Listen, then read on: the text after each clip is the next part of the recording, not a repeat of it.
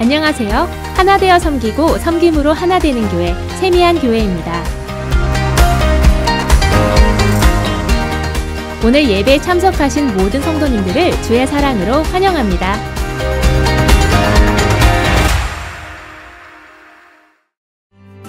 코로나 바이러스 관련 교회 방역 안내를 드립니다.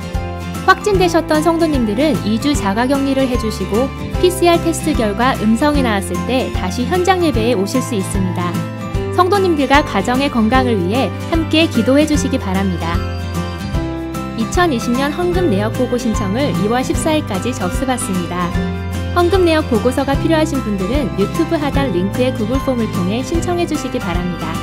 2020년 바뀐 세법에 따라 각종 헌금이나 기부로 세금 공제를 받을 수 있는 standard deduction이 싱글 파일은 12,400불, 조인트 파일은 24,800불입니다. 세미한 교회는 혼전 순결의 중요성을 유스 학생들에게 가르치기 위한 True Love Wait 프로그램을 진행합니다. 등록을 원하시는 부모님들께서는 유튜브 하단 링크를 통해 신청서를 작성해 주시기 바랍니다. 권사회에서 2월 6일 토요일과 7일 주일 이틀 동안 사랑의 반찬 미니스리를 진행합니다. 구매하기 원하시는 분들은 유튜브 하단 구글 폼 또는 연락처를 통해 신청하실 수 있습니다. 성도님들의 많은 관심과 참여 부탁드립니다. 1월 세미한 제자학교 SDS 수료를 축하드립니다. 다음 주일부터 101이 시작됩니다. 아직 SDS에 참여하지 못한 성도님들의 관심과 참여를 바랍니다. 빈야드 커피숍이 다음 주일부터 금요일과 주일에 테이크아웃 온리로 리오픈합니다. 성도님들의 많은 이용 부탁드립니다.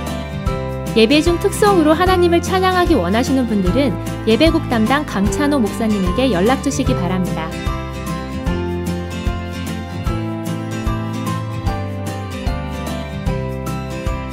세미한 교회 영상 예배 참석을 하시면서 교회 등록을 원하시는 분들은 유튜브 창 아래 더보기에 있는 새가족 등록 링크를 통해 등록해 주시기 바랍니다.